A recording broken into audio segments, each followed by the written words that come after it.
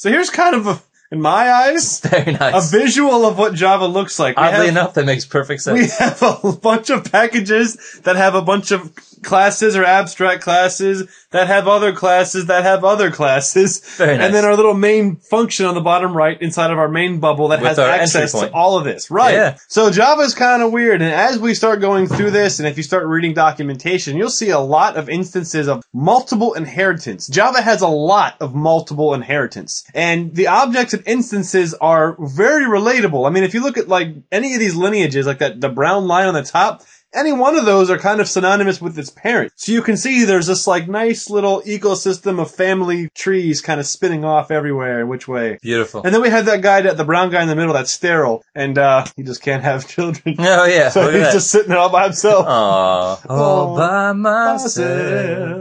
So let's take a look at the Java platform. We have Java Standard Edition and Java Enterprise Edition. The Java Standard Edition contains all of the most common libraries in that beautiful ecosystem we just saw, and the API right here. Nice.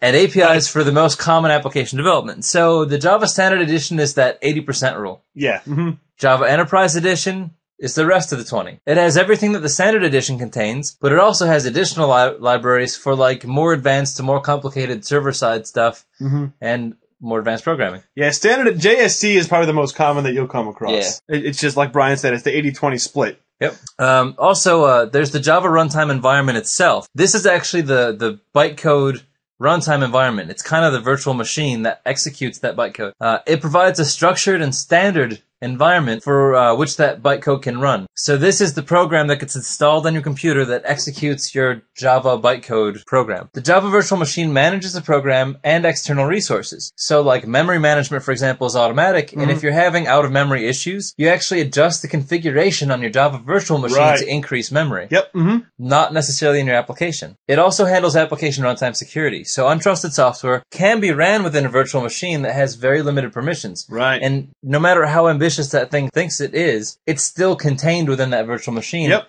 Which then in turn only has certain security restrictions on it. There's like a little bubble that it runs inside Yeah, that protects exactly. it from the rest of the system. So since the Java virtual machine executes bytecode, any language that has the same code can be executed. So like for example, By, by the Uh, by the JVM. Yeah, exactly. Yeah. So like there's a thousand different ways you can produce bytecode. You could just make bytecode. Yeah. You really wanted to. If you're really hardcore, yeah. yeah. if you're weird. I don't know. uh, but there are bytecode compilers for other languages. So like you could write in Perl or TCL or Python and execute it on the Java virtual Yeah. machine. Isn't that weird? It's crazy, Brian. Because it's just reinterpreting those requests into a standardized bytecode language. Yeah, absolutely. No big deal. Absolutely. Nothing fancy. So how does the Java virtual machine compare in how C, C++ works? Well, you guys know that when we write a C++ program, at least the way that we did it in our C++ course, we write code. We compile that code into machine code, which as you guys know is binary. And then we directly execute that code on the machine. So this little, this little box here represents the computer and the code is being ran directly inside that box. It has unadulterated access to everything inside the box. Right. So when we look at a, a program that we generate in C and C++ that we build and make, if you were to grab that executable and look at it, it's like, yeah, it's binary. it's a binary executable It's file. machine language. Exactly. For that specific system architecture. Yep. Now, Brian, how is Java different? Well, in Java, you write the program and you compile it just like we did before, but instead of making a uh, machine code file that's a binary executable, we have this blah blah blah blah blah blah blah blah blah bytecode.